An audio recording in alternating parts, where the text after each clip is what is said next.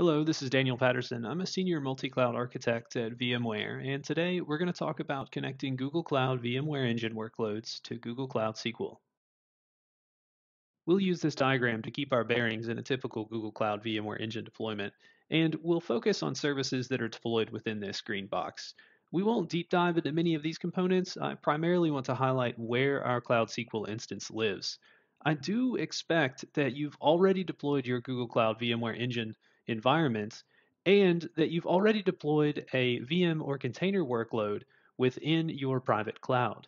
I also expect that you've configured private services access between the customer VPC and the shared VPC managed by Google. Let's take a look at our private services access connection. In my case, I have a few VPC networks, but for the demo today, MCA VPC Demo is our customer VPC. From here, I can navigate to the Private Service Connection tab and see that I already have an allocated IP range. I can also navigate to the Private Connections to Services tab and see that I have a connection that's already using that allocation. It's worth mentioning that the name of this allocation has Cloud SQL in the name. If I were deploying more managed Google services, then I would want to name this something more generic. For now, take note of the IP address that's listed here. So back to our diagram.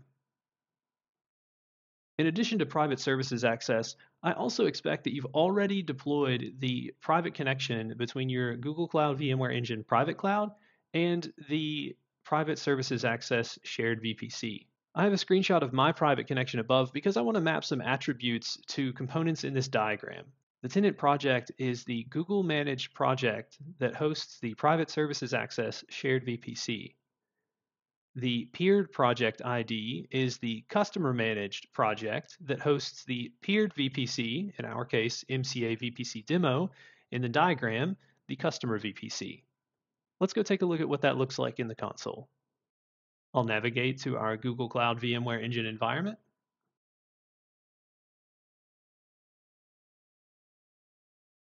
This is the same private connection that I showed in the screenshot earlier. Let's go to the details of this connection. Earlier, I mentioned to take note of the subnet that was listed in the private service connection. Let's search for that subnet here. It's not in imported routes, but let's check exported routes. Notice this says subnet peering versus these other connections say dynamic peering. That's because this subnet exists in the private services access shared VPC, and the list of routes that you see represents the routes exported from the private services access shared VPC. Now, let's move on to the Cloud SQL deployment.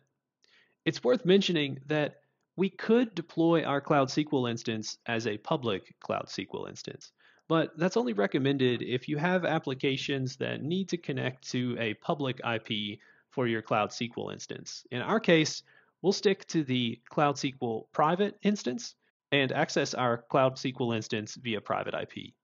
So let's go deploy our instance. I already have one Cloud SQL instance deployed, but let's create another one.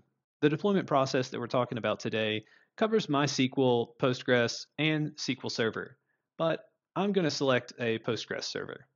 I'll name my instance, generate a password, select the appropriate region. In my case, my Google Cloud VMware Engine environment is in US West 2 as well. If you need high availability, select multiple zones. In my case, single zone is fine.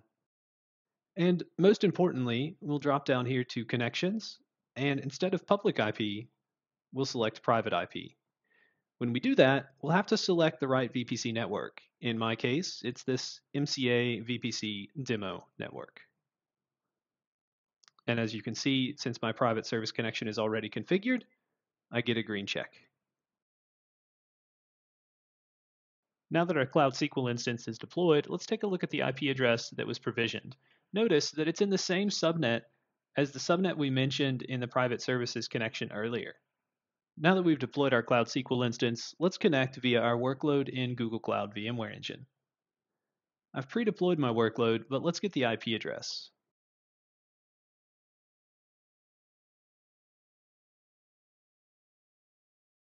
Now that I'm logged into my instance, let's see if we can ping our Cloud SQL instance.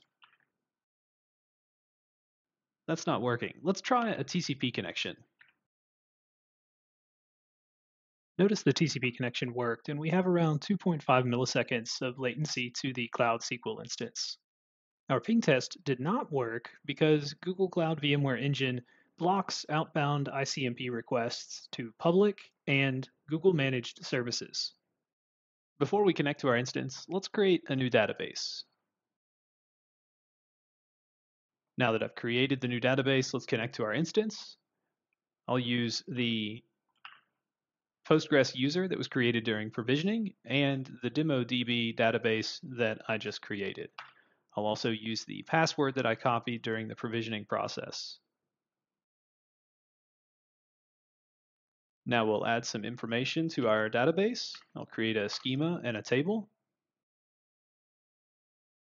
And we'll add some data. And then we can select our data to show that it's there. All right, we're done. We've sent data to our Cloud SQL instance from our Google Cloud VMware Engine workload and reviewed all the components involved in the setup. You're ready to start testing in your own environment.